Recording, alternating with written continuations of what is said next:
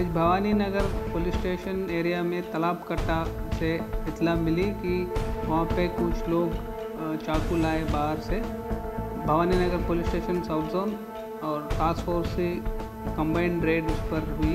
एक आदमी जावेद और सलमान उनका घर पर रेड हुई और वहाँ से पाँच तलवार और तीन चाकू उसके घर से रिकवर किए।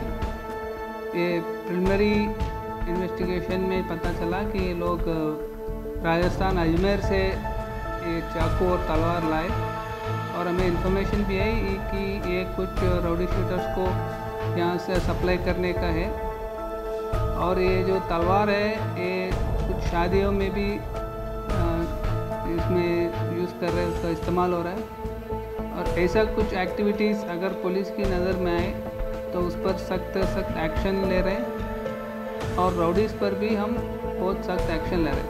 तब इसमें कितने लोगों की गिरफ्तारी हुई? इसमें दो लोग दो लोग सलमान और जावेद और पाँच तलवार और तीन चाकू। उनका पहले भी कोई अभी पूरा इन्वेस्टिगेशन में आएगा। प्रिलिमिनरी तक यहाँ